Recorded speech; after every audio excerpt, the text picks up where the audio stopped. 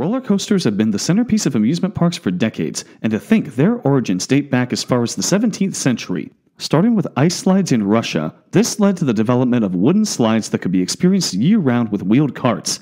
Tracks were soon added, and as years progressed, so did technology, allowing for the creation of the modern thrilling machines that we know today. But what was the first real example of a roller coaster? What was the first to flip riders upside down? The first with a chain lift? The first with upstop wheels? The first over 100 feet tall? Let's go through the history of roller coaster firsts. Welcome to Ejector Airtime, and this is Roller Coaster Firsts Part 1.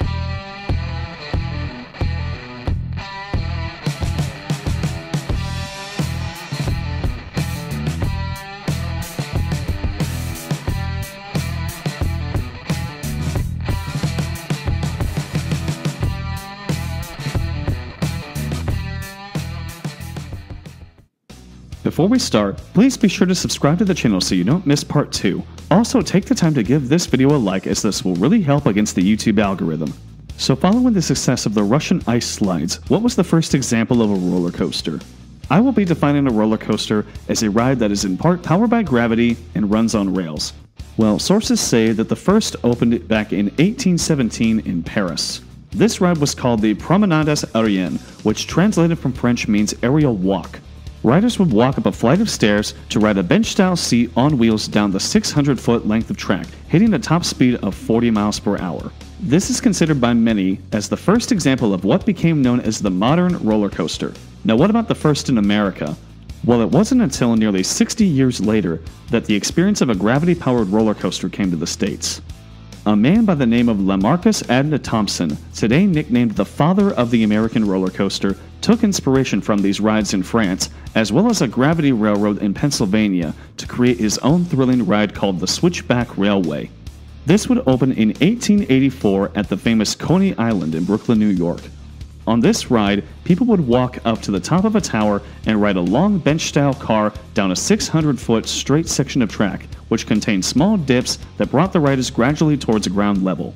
The cars were then lifted back up to the top of a second tower, switched over to an adjacent track, and returned to their starting point.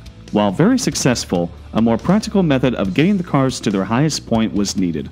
The following year, another coaster opened at Coney Island called the Gravity Pleasure Railroad, designed by Philip Hinkle. This complete circuit ride would mark the first time a lift hill was used on a roller coaster, and in 1886, Thompson created his own version with a lift hill, but his would add new features such as tunnels, mountain structures, and various scenery. He called this a scenic railway. Creations like this would lead to many more rides like it being built all over the country. As the roller coaster continued to develop, new restraint systems were created for riders in order to make them safer. But before roller coasters could be made larger, they needed something that would keep them fixed to the track. And in 1919, designer John Miller patented what we know today as the upstop wheel. These wheels can be found on all roller coasters today, but the first to utilize them was Jackrabbit at Seabreeze in New York. Upstop wheels run underneath the track and prevent the coaster train from leaving the track during moments of negative g forces and later inversions. Speaking of inversions, I was quite surprised to learn just how far back the history of the vertical loop goes. Way back in 1846, the first full size ride, called a centrifugal railway, opened in France. The loop on this one was only 13 feet tall and it could only accommodate one rider at a time. The ride did not last very long, and neither did the first to open in America. The Flip Flap Railway, which opened at Coney Island in 1895, featured a 25 foot tall loop, but the ride closed in 1902. So, why didn't these or any that followed last all that long? Well, first of all, these rides were made of wood, which made the loop a bit unstable. But the biggest problem was the size and shape of the loops. With a perfect circle, the transition from 1 to 12 Gs was very sudden and very uncomfortable for riders. For those who don't know, 1g is 1 times the Earth's gravitational pull, which is what you are experiencing right now. Now imagine what 12 times your body weight pressing down on you might feel like. This resulted in riders getting whiplash and other neck injuries. It wouldn't be until the advent of tubular steel coasters that inversions would be given a second life, but we'll get to that later. So, what about height? Well, the first roller coaster ever to reach 100 feet tall came in the form of the Revere Beach Cyclone in 1925. And of course, The first and only to exceed 200 feet was the infamous Son of Beast, which opened in 2000 at Kings Island near Cincinnati, Ohio. This was also the first modern wooden roller coaster to feature a vertical loop. The loop was unfortunately removed in 2007 during an attempt to fix the coaster following a major accident, and the coaster itself would be demolished in 2012. I searched around a bit trying to find out what the first example of a racing coaster was, but I didn't have much luck. The first to use a Mobius loop track layout was Derby Racer at Euclid Beach Park in Cleveland. This means that the entire coaster is one continuous track instead of two separate tracks. If you board the coaster on the left side of the station, you will return on the right. Today, there are only two wooden coasters operating with this style of track, and those are the Grand National at Blackpool Pleasure Beach in England and the Racer at Kennywood. The Kings Island Racer stands as the first coaster to run one of its trains in reverse. From 1982 to 2007, one train ran forward while the other ran backwards, creating two completely different ride experiences.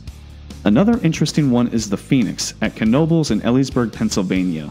This coaster originally opened as the Rocket at Playland Park in San Antonio, Texas, back in 1947. The coaster was later moved to Knoebels in 1985 and given a new name, making it the first wooden coaster to be relocated.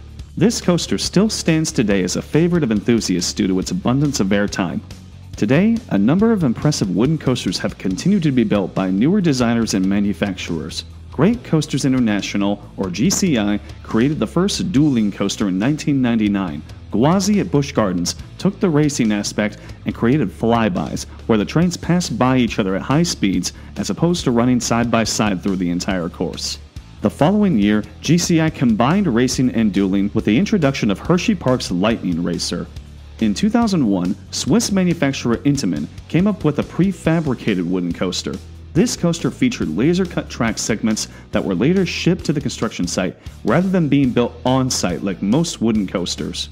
The first of this type was Colossus at Heide Park in Germany, and the first and only to be operated in America is Six Flags Great Adventures El Toro, often highly regarded as one of the best wooden roller coasters in the world. Following the failure of Son of Beast, Idaho based company Rocky Mountain Construction created a new type of wooden track design that would allow for more twisted layouts and also allow for inversions. The first to do this was Outlaw Run at Silver Dollar City in Branson, Missouri. This coaster features an 81 degree first drop, an upside down stall, and a double inline twist, making it the first wooden coaster with three inversions. The Gravity Group created the first wooden shuttle coaster, Switchback at ZDT's amusement park in Seguin, Texas in 2015. This coaster uses a lift hill and a transfer track, allowing multiple trains to run at the same time. The coaster fits into a very tight piece of land and goes up a dead end spike before going all the way back through the whole course in reverse. We certainly can't talk about wooden coaster innovation without mentioning Dollywood's Lightning Rod. While this coaster is no longer wooden, the story of this coaster is definitely an interesting one.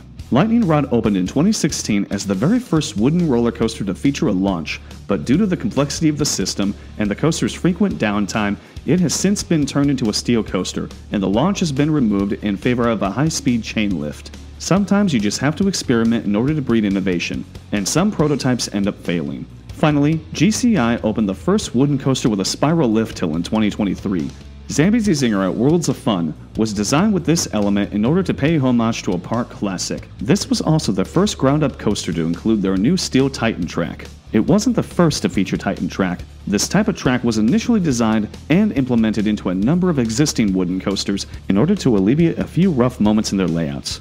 Although Zinger's lift hill features the Titan track, the majority of the ride's track is wood. As you can see, wooden coasters have come a long way. They are still continuing to develop and innovate, and there will certainly be many more thrilling versions in the future. So what about steel coasters? We'll save that for another video. That's going to do it for this one though. If you enjoyed it, be sure to subscribe to the channel so you don't miss part 2 and any other future content. Also, be sure to take the time to give this video a like. Thank you so much for watching.